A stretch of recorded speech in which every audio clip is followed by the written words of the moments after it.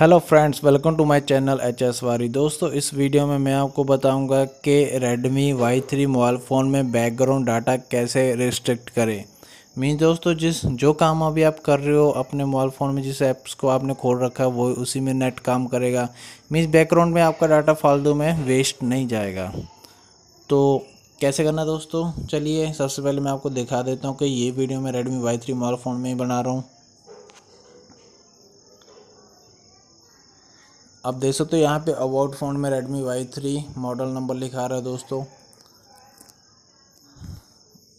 तो दोस्तों, इस मोबाइल फ़ोन में आपको कैसे और क्या करना है? आपको जाना होगा दोस्तों सिक्योरिटी में।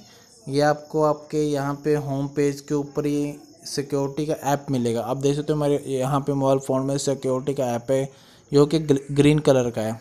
आपको इस ऐप में जाना होगा दोस्तों। इस ऐप में जाने के बाद दोस्तों आपको नीचे जाना होगा। नीचे जाने के बाद दोस्तों आपको यहाँ पे मिलेगा डाटा यूजेस आप देख सकते हो यहाँ पे डाटा यूजेस करके एप्लीकेशन आपको फोल्ड दिख रहा है। येलो कलर में है दोस्तों। इस, इसमें चले जाइए।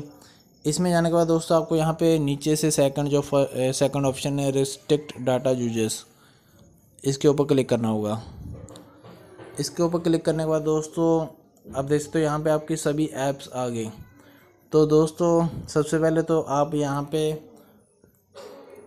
ये सभी ऐप्स का जो, ये जो मोबाइल डाटा करके यहाँ पे मैं ऊपर क्लिक कर रहा हूँ तो सभी ऐप्स का रिस्ट्रिक्ट कर दीजिए।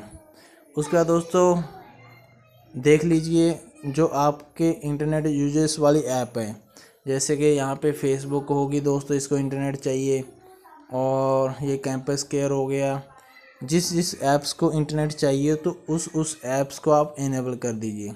जैसे कि ये सब गेम ए गेम्स वगैरह रिमोट्स वगैरह, इन सब के लिए दोस्तों इंटरनेट नहीं चाहिए।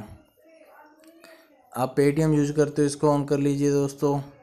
मैं जो जो ऐप्स आपको इंटरनेट चाहिए, बस उसी को ऐप की ऑन कीजिए। बाकी रिमेनिंग को दोस्तों बंद रहने दीजिए।